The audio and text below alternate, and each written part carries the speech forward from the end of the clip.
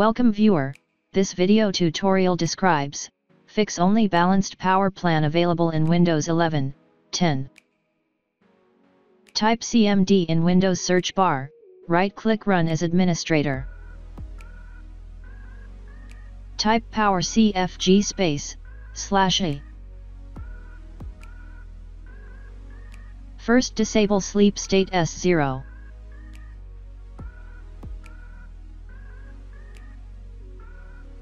Type regedit in Windows search bar, right-click Run as administrator.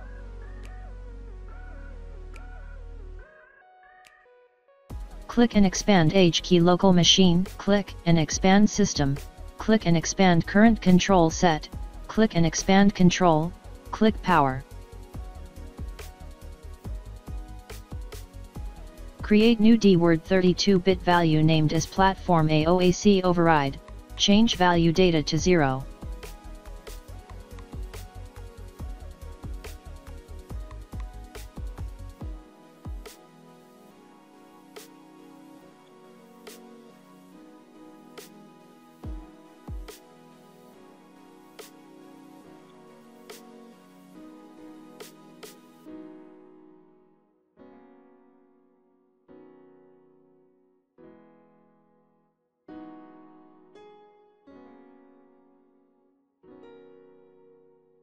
Close and restart system.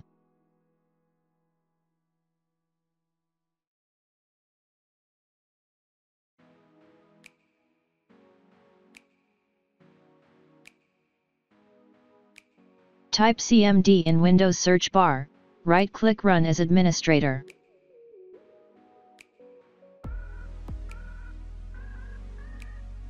Copy command from description and paste it.